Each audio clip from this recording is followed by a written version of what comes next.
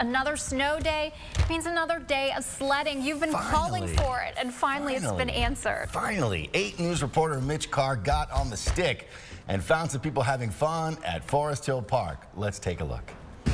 I'm Mitch Carr at Forest Hill Park, and I have a bit of a public service announcement to make sure that your sledding today goes the right way and the way it should. If you're a big guy like me, if you're over 200 pounds, you probably don't want to be using one of these little plastic saucers. They're not exactly ideal, because when my big butt gets on this thing, I don't really go down the hill. hold on, kids, hold on. However, however, there is a better way to do this.